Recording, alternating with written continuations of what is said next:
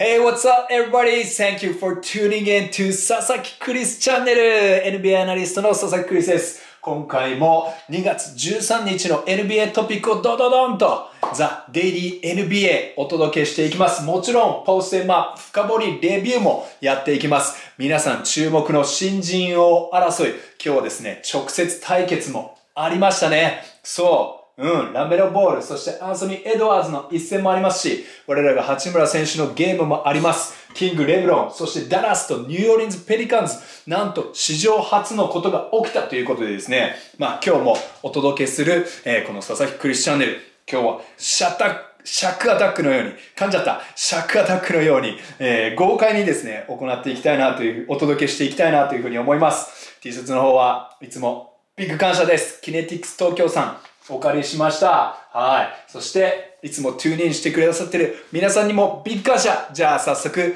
行っていきましょう。まずは、レイカーズとグリズリーズの一戦です。まあ、レイカーズはなんと1クォーターにですね、20ポイントのビハインドを負うんですけども、後半はメンフィスを46得点に抑えた、このディフェンスと、それから伝家の宝刀である、まあ、えーディフェンスからのファーストブレイクですよね。ファーストブレイクを前半後半にしっかりと散りばめてですね、23得点上げる、えーそういった、え内容で逆転勝利。で、3クォーターにはキング・レブロン・ジェームズが13得点を挙げていますし、4クォーター、2ゲームの欠場明け、アキレス腱の痛みですね。欠場明けのアンソニー・デイビスは4クォーター、フィールドゴール、えー5分の4と。もう本当に支配的で、結果35ポイントの大荒べ、強大暴れ、強烈でしたね。クーズマも20ポイント、10リバウンドと、えーこのダブルダブルの活躍、素晴らしかったですね。で、これで、まあ、レイカーズの方はですね、えー115対105と、えー勝利したわけなんですけども、これでレイカーズは、まあ、えーこの前のゲームまでは3試合連続のオーバータイム、えーでの勝利でした。それも含めて7連勝に伸ばしています。今シーズン最長ですね。で、ESPN によると、まあえここ20シーズンで一時20ポイントのビハインドから2試合連続で勝利するわずか3チーム目に今日なったっていう中でね、まあこの連勝を伸ばしている。まあ対戦相手にちょっとね OKC とのゲームもそうですけどもお付き合いしてる感は否めないんですけども、まあ、長いシーズンで振り返っていれば勝利以外のもう何物でもないわけですよねこの一勝っていうのは。はい、なのでまあカンファレンス内でのこう順位争いのためには貴重な勝利だということはもう言うまでもないのかなっていうふうに思います。はい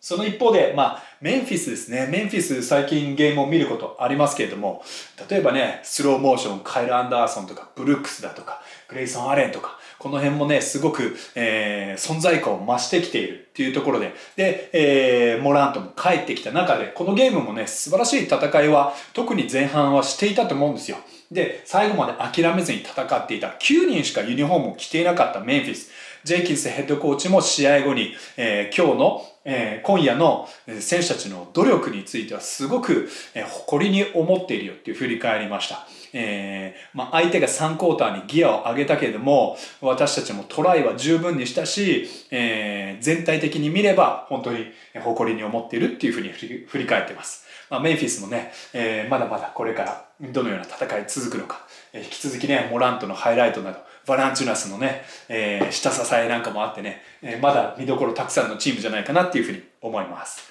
はい。では引き続き、ワシントン・ウィザーズとニューヨーク・ニックスの一戦に行きたいと思います。で、このゲーム、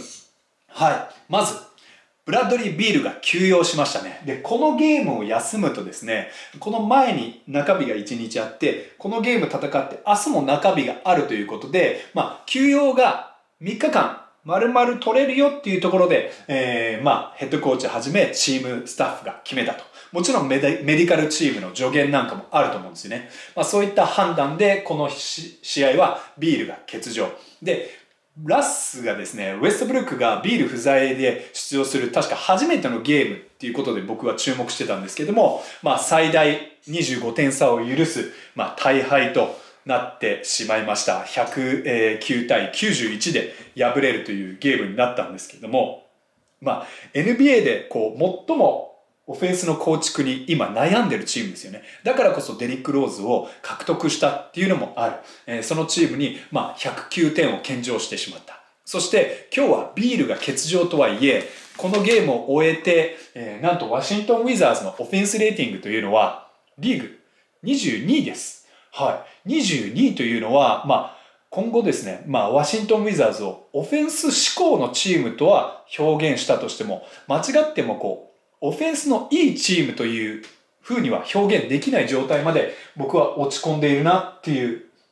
ふうに思います。それは印象だけではなくて、このオフェンスレーティングにも現れてると思うんですね。で、ビール不在で誰が先発になるのか。これまでね、ウエストブルークが休むと、例えばハウルネト、イシュ・スミスを飛び越えたハウルネト、えー、そういった選手がこう、スターターになったりしていたんですけども、なんとですね、ヘッドコーチは、えー、ギャリソン・マッシュ、シューターですね、2ウェイプレイヤーを据えました。決して彼が悪いプレイヤーではないです。えー、そんな中で、なぜ彼に先発を、え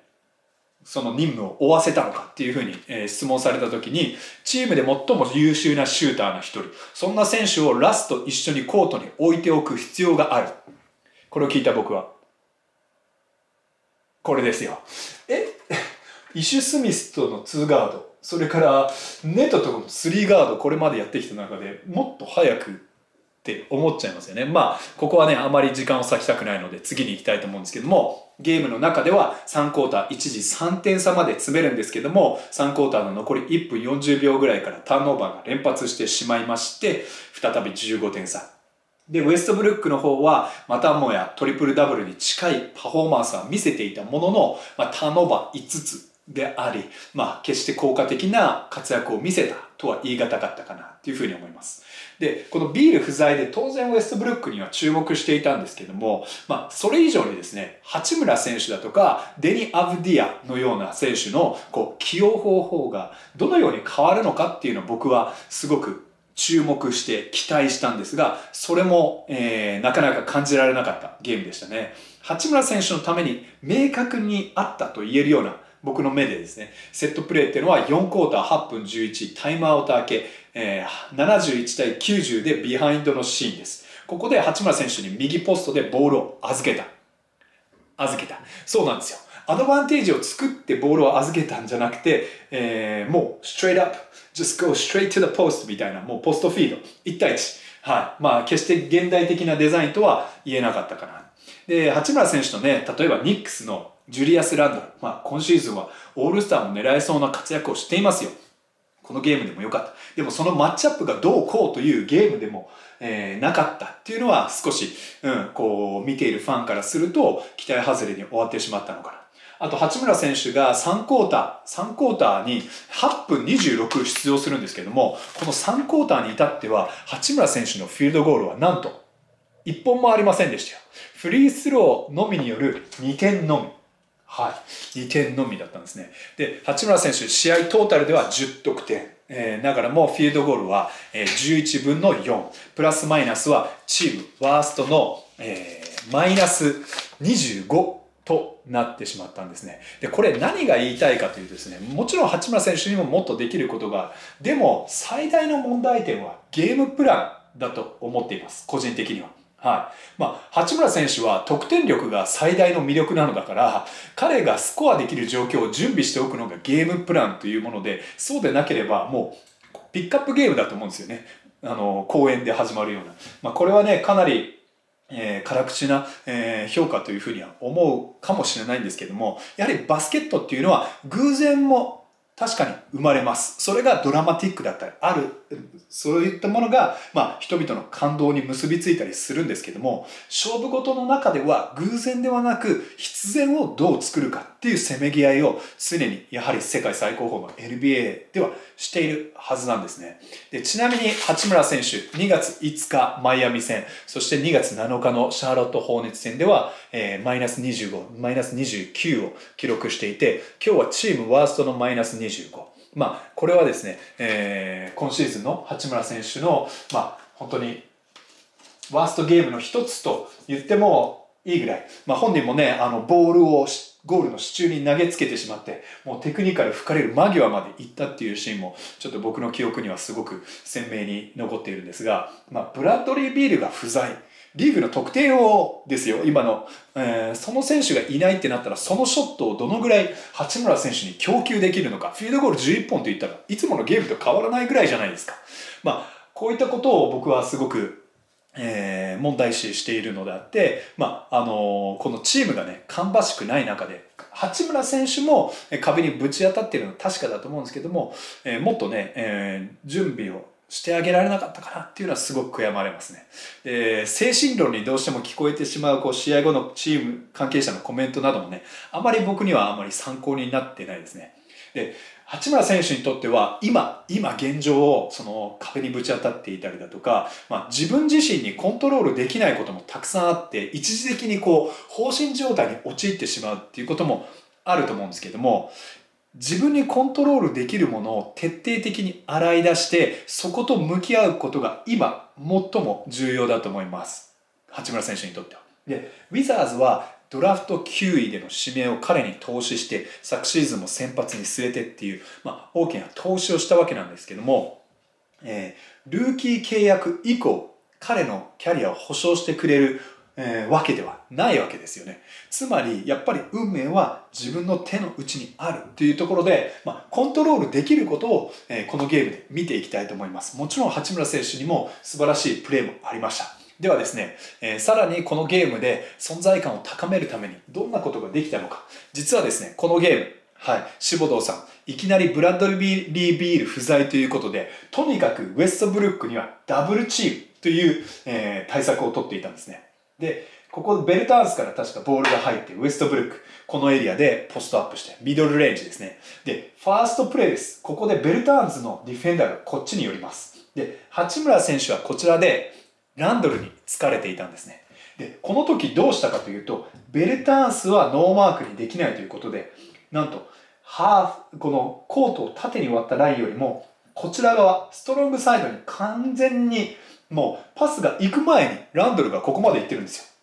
はい。ここで八村選手どうすべきか。これね、ターンオーバーに結果になってしまうんですけども、ここ、カットしたら、もう踏み切ってしまえば、さすがの NBA プレーヤーとはいえ、まあ、なかなかね、八村選手をここ、ここまで来て、うん、猛烈に踏み切って振りかぶりさえすればですね、えー、最低限ファールというようなシーンですよね。ここ、まあ、ファーストプレーでいきなりラスにダブルチーム行った普段との傾向とは違うとはいえ、自分とリングの間の直線が空いた。ここはね、やはり飛び込んで欲しかったなっていうふうに思いましたね。はい。それから1クォーターの5分43のシーンなんですけども、まあ、ペイトンにスティールされるんですよね。あの、ワシントン・ウィザーズの方が。で、えー、なんてことないパスをスティールされて、すごい、あの、タイミング的にはなんでこんなところでミスしているのと、まあ、他のチームメイトが思ったかもしれない。八村選手もそう思ったかもしれないんですけども、えー、ニューヨーク・ニックスはそこから一目散にファーストブレイクを、えー、繰り出しているんです。ここからね、繰り出して。で、その時、えー、八村選手とランドルはこのように、まあ、ほぼ同じ位置ぐらいにいたんです。ランドルの方がコート内側なので、まあ、えー、メリットはあるにせよですね、ここからの、まあ、攻守が切り替わったことに対するリアクションスピードが全く違いました。最初の2歩出すスピードですね。これがこれだけ遅れてしまったことによって、まあ、あの、ランドルがファーストブレイクで、えー、こう得点し、さらにファールもしてしまい、エンドワンを献上してしまった。これはですね、非常に大きなプレーです。えー、この最初の2歩をバスケットではどのぐらい攻守ともにですね、強調できるかどうか。ここは、えー、チームのシステムどうこうではなくて、八村選手自身が絶対にコントロールできることなので、こういったものを強調するだけで、スーパーアスリートである。NBA レベルでも、そのアスレティックアビリティっていうのは、やはり抜きに出ている。八村選手だからこそ、えー、次の試合ではね、ぜひトライしてほしい部分でありますね。はい。逆にね、この日、ディフェンスでもいいシーンあったんですよ。はい。で、ここでですね、まあ、攻守がちょっと入れ替わってですね、まあ、黄色がワシントンだとしましょう。で、えー、スクリーンプレーが起きて、ここで、ペイトンに対してスイッチして八村選手が出ていきます。で、ここがジュリアス・ランドルで、ここがベルタンスなんですね。で、ベルタンスのフィジカルさとかドライブついていけないと思って、まあ、ペイトンはランドル。まあ、エースプレイヤーですよね。ランドルにボールを預けるんです。で、ペイトンはボールを預けた上でこうやって切れていくんですね。逆サイドに。彼にスペースをたくさん与えため。ここで八村選手素晴らしかった。素晴らしかったのは、ペイトンには外角のショットがない。そんなに脅威にならないということで、ついていかなかったんですね。ここに居座った。これによってランドルがスペースを失って、あ、失礼。ここでですね、ウエストブルックだったかな。最終的にはウエストブルックがスティールで終わったんですね。はい。素晴らしかったですね。ここは適切な判断でしたね。あとは RJ バレットとマッチアップした時には左に行く傾向が強いので彼を右に行かせるとか、そういったプレーもしっかりできていました。はい。しかしですね、あのー、3クォーター6分9で、えー、その時つついていたシューターのブロックにですね、えー、スリーポイントシュートをここで許してしまった、えー、ちょっと八村選手のプレーは痛かったですね。その次のプレーでスコアされると、今度は RJ バレットにスコアされると、八村選手がえベンチに下げられるっていうような、え場面につながってしまったんですけども、ちょっとこちらの、えフロアバランスは、え申し訳ない、ちょっと忘れてしまったんですけども、ニックスがですね、このトップからピックアンドロールを仕掛けていくんですよね。で、ここボールハンドラーが RJ バレットです。で、スクリーンをこうかけて、RJ バレットが、おちょっとパスが速いぞ。RJ バレットがこちら方向にアタックしたときに、八村選手、このワンパスアウェイという呼ばれる距離でディフェンスしてた時に、ぐっとこっちに寄ってしまうんですね。するとここを裁かれて、チームで最も優秀なシューターの一人であるブロック、レジブロックが、このスリーポイントを、まあ、八村選手が追いつけずに、キャッチャーシュートで決めてしまうんですね。で、この八村選手のポジショニングっていうのは、ピックアンドロールディフェンスでは考え方としてはあります。例えばトロントラプターズ、これまでも解説してきますけども、渡辺選手がこの位置に入るっていうのはありますよね。そこから激しくリカバリーしますよ。それはチームの考え方である。チームもあるんですけども、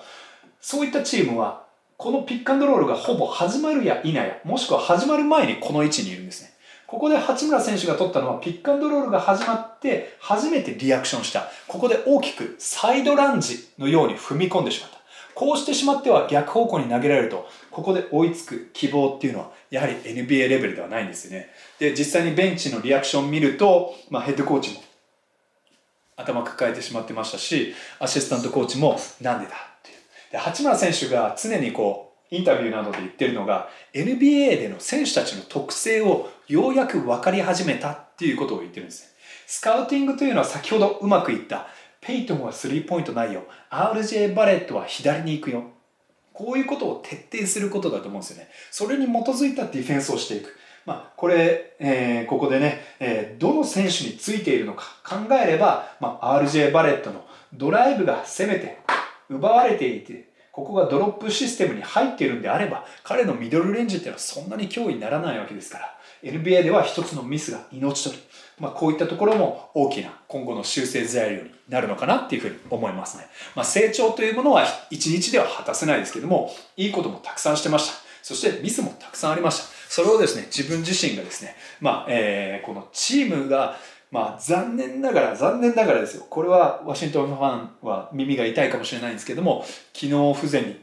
陥っているのであれば、もう八村選手自身が修正して、そして NBA の中でよりこう成長していくのかな、しかないのかなというふうに思いますね。はい。ワシントンはこれからウエストへの遠征を含めて15日間で9日間のハードスケジュールになっていきます。で、このゲームピックアップして期待していたかもしれません。まあ、ニックスファンの、えー、皆さんごめんなさい。ちょっと他のゲームのためにね、なかなか尺は今日は使えないんですけども、まあ、ここ5試合の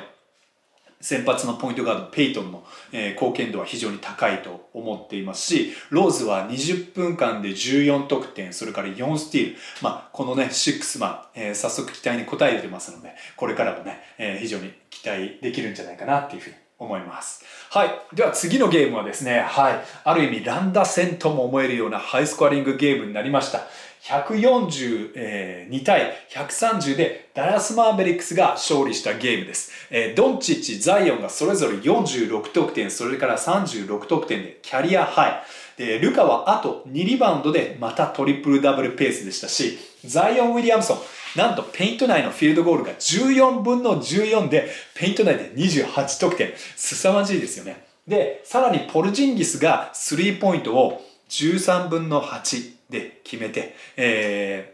36得点。イングラムは5アシスト、5リバウンドを含む30得点と、まあ役者が揃いも揃った中でしっかりと仕事を果たしたんですけれども、なんと ESPN によると25歳以下の4人がですね、延長を含まない試合で30ポイント超えを4人全員が、4人が果たしたというのは史上初なんだそうですね。うん。凄まじいですよね。で、えー、まあ最終的にゲーム何を分けたのかっていうと、僕の目ではこう、4クォーターの起点作りで、例えばブランソンだとか、えー、やっぱりダラスのえー、攻撃っていうのはルカだけじゃダメなんですよね。ツーガードシステムなんです。カーライルヘッドコーチは。そんな中で JJ バレアというね、えー、昨シーズンまでベテランがすごく貢献してましたし、ブランソンも昨シーズンも貢献してますけども、まあ、その JJ がいない、精神的な支柱がいないっていう中で今シーズン、えー、それも一つのまあ、えー、ここまでスロースタートの一員でしょう。でも、ブランソンやティム・ハードウェイ・ジュニアの存在感も上がってきてます。選手たちも戻ってきてます。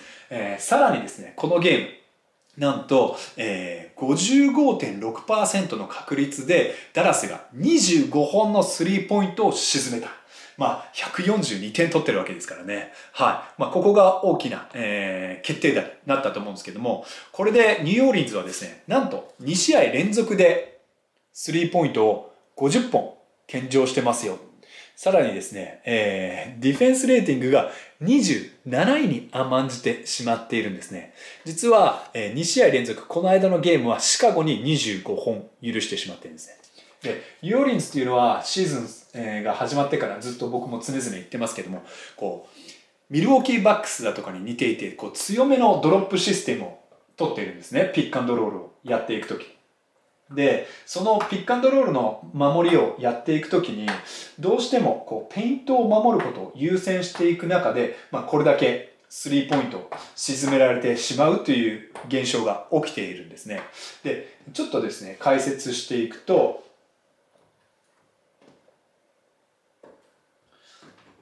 相手がこのようにまあスクリーンをしてかけますよね、ボールハンドラーに対して。で、ドロップします。下がって守る。下がって守るのに対して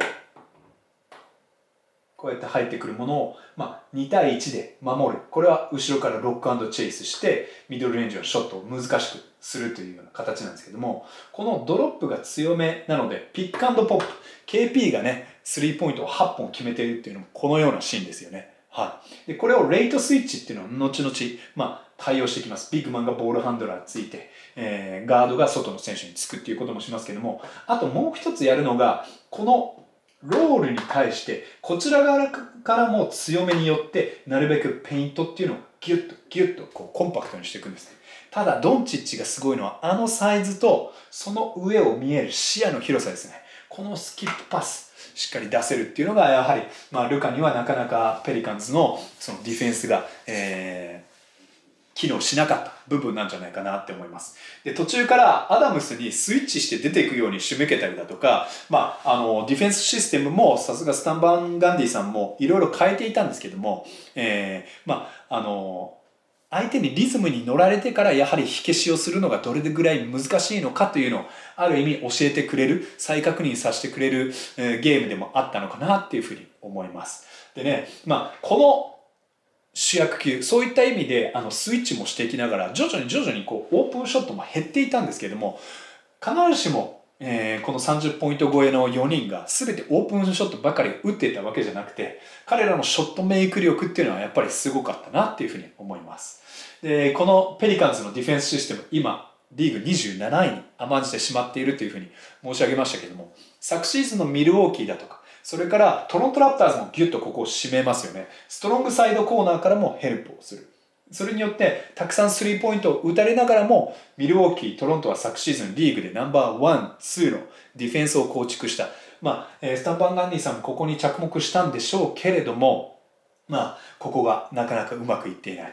今後どのように修正していくのか、これも楽しみかなっていうふうに思います。はい。それでは今日のメインディッシュに行きたいと思います。シャーロット・ホーネツ対ミネソタティンバーウルブスの一戦です。ルーキーの得点ランキング1位、2位、えー、ミネソタにはドラフト1位指名、シャーロットにはドラフト3位指名がいますね。この直接対決。実はですね、現地の情報によると、2人は NBA に来る前から一切対戦がなくて、正真正銘の初対戦。まあ、ラメロに至っては高校生の時にリトアニアに行って、そしてオーストラリアに行ってますよね。そういった意味で、まあ、超高校級のプレイヤーたちが、え、その過去に相ま見えたこともなかった。そんな中で期待にたがわぬ応酬をこのゲームでは見せてくれました。はい。二人のその応酬に入っていく前に、まあ、今シーズン、ミネソタ、このゲームはですね、ミネソタで最も安定している、えー、選手と言っていいでしょう。マリーク・ビズリーが1クォーターから16得点。で、ゲームを通じて最終的に31得点。で、カール・アンソニー・タウンス。で、欠場がなければもちろんカール・アンソニー・タウンズがナンバーワンプレイヤーなんですけども、彼も、まあ、コロナの陽性反応による、えー、13試合の欠場から復帰2戦目、2戦目で、えー、このゲームでは25ポイント。素晴らしいですね。はい。ただですね、あの、プレイメーカーがどちらの方が多いかと言われれば、やはりシャーロットだったと思うんですね。えー、そういった意味で、まあ、バランスのいいパフォーマンスをシャーロットの方ができていて、えー、キャリアハイまであと1ポイント、41ポイントを叩き出した。そしてキャリア初の2試合連続30点超えの、えー、ロジア、4クォーターのロジアの活躍の前に、残念ながらミネソタは屈してしまったのかなっていうゲームでした。で、ルーキーの2人の、えー、スタッツ確認しておきましょう。エドワーズがフィールドゴール21分の9ながらも、えー、21得点、6リバウンド3アシスト、0ターンオーバー。この話はまた後でします。で、ラメロがフィールドゴール15分の8。こちらの方が効率いいですね。プルアップ3ポイント。ロングレンジの3ポイントもありました。20ポイント。11リバウンド。そう。リバウンドが取れるのが彼の魅力ですよね。えー、そして4アシスト、3スティール。ただ4ターンオーバーはしてしまってました。はい。ただですね、このゲーム、どちらも、えー、コーツつけがた、コーツつけがたいパフォーマンスでした。僕の中では今、ルーキー・オブ・ザ・イヤーレースは、ラメロが、えー、リードしてるんじゃないかな。ハリバートも続いてる。ワイズマンもいる。えー、エドワーズ。えー、こういった順番になっているのかなっていうふうに思うんですけれども、このゲームだけで言うと、3歳の時に父親からアンソニーの最初の3文字 ANT、アントマンという異名を授かったエドワーズが全体1位指名は間違っていなかったということをね、強くアピールするゲームの内容で、まあ、全体でもこのゲームではボールを一歩上回ったんじゃないかなっていうふうに思いました。で、このゲーム見てない人は、ぜひ2クォーターのこの両者の応酬、それから3クォーターのエドワーズの12得点、3クォーターも見てほしいなと思います。えー、3クォーターにエドワーズが上げた12ポイントというのは、えー、今シーズン1つのクォーターではですね、過去に4クォーターに15ポイントと12ポイントを上げたゲームがあるんですけども、えー、まあ、それに次ぐ3クォーター、えー、12ポイントなんですよね。そういった意味では、この2つのポイントっていうのは大差で敗れたゲームだったので、ある意味このゲーム、まあ、3クォーターの12点というのは最も価値があったとも言える内容かもしれません。そんなエドワーズどういうところがすごかったのか。やはりですね、えー、ピックアンドロールのボールハンドラーになった時のパス能力。はい。アシストもそうなんですけども、アシストの前のアシスト、セカンダリーアシストですね。チームのアドバンテージを作って、それから手放すっていうこともできるし、えー、自分で割ってドライブで行くこともできる。ドロップをアタックすることもできる。えー、このゲームですね、実は、シャーロット、まあ、ゾウも使いました。ハードショーも使いました。ボールマンに激しく2人で出ていくものですね。ドロップも使っていました。そういった意味ではシャーロット手を変え、品を変え、ピックアンドロールのカバレッジを変えていったんですけども、アントマンことエドワーズは、ほぼ全ての、えー、ピックアンドロールでの攻撃の引き出し、考えうるですよ。エドワーズが持っているじゃなくて、バスケットボールコートにあるもの。例えば、二人の間を割るスプリット。それから、ピックアンドロールでスクリーンが来た逆側を行くリジェクト。そしてドロップに対して相手の胸に飛び込んでいく。これは跳躍力もなせる技かもしれませんけど、そういったものだとか。それからしっかりとチームメイトを信頼して、えー、二人を引き付け、引きつけてから、数的優位からのパスアウト。えー、どれもね、すごくね、えー、どういった対策がそれぞれのピックアンドロールのカバレッジに求められるのか、よく理解してプレイしているなというふうに思わされましたね。はい。一方の、まあ、ロンゾボールは、こう、リバウンド力とか、ルーズボール力。まあ、この辺がね、すごく良かったんですけども、2クォーターのエドワーズ、3分54からの2人の間を割るスプリット。これはね、ビヨンボが大きくハードショーに出てきたんです。これね、ずっと機会をうか伺っていたんじゃないかなっていうふうに思います。そういったところを割っていきました。すると直後に、えー、ルビオのスクリーン、アンダーをくぐったところが、ラメロボールがプルアップのスリーポイントで応酬する。で、今度はビヨンボがですね、ハードショーで出てこない。下がる。そうすると、ドロップで守っているディフェンスに近寄っていて、センターの背面パスでカール・アンソニー・タウンズを生かす。これは素晴らしかったですね。はい。今度はですね、ラメロが戻ってきて、ビヨンボへのアリウープを、えー、繰り出すと。今度はですね、エドワーズスイッチに対してカール・アンソニー・タウンズへのアシスト。これも自分でワンワン、スピードのミスマッチを無理して攻めずに的確にパスしました。今度はラメロがドライブで自らフィニッシュ。本当に素晴らしかったですね。はい。で、3クォーターもね、ぜひ、えー、このエドワーズの活躍っていうものを、えー、ぜひ見てほしいと思うんですね。3クォーターにはシャーロットがスイッチに変更しました。ほぼオールスイッチになりました。それがうまくいかなかったら、今度は2-3ゾーンやりました。つまり、エドワーズがノリに乗っていることに対して、シャーロットはディフェンスのゲームプランをこれだけ変えざるを得なかった。いや、こんなにゲームプランを変えさせるルーキーって、やっぱり末恐ろしいですよね。はい。まあ、3クォーターのね、ミネソタ、最終的にはディフェンスが振るわず、えー、また再逆転を、えー、シャーロットに許してしまったっていうところも、えー、敗因になったのかなっていうふうに思うんですけれども、エドワーズのピックアンドロールさらに詳しく見ていきます。するとですね、このポスト言っていいでしょう。ちょっと脇道にそれるけど、ミネソタからありました。はい。ピックアンドロールボールハンドラー。ピックアンドロールでボールを扱う選手としては5.6回ほど、えー、攻撃をしています。はい。で、これはチーム2番目、ディアンジェロ・ラッセルに次ぐ回数。ラッセルは10回を超えてきます。ラッセルがこのゲームいなかったという、不在だったということ、えー、左足でしたかね、えー右足でしたか足の痛みで欠場していたと思うんですけども、いなかったことでエドワーズのこの機会が格段に増えました。これも良かったですね。で、普段はピックアンドロールから自らのショットを放つと、フィールドゴールは31分の3に甘んじてしまっている。あまり効率は良くないんですけども、え、どんどんやるべきだと思います。これはカール・アンソニー・タウンズが、え、開幕後初勝利して、そのゲームボールをですね、お母さんに捧げたいというふうにインタビューを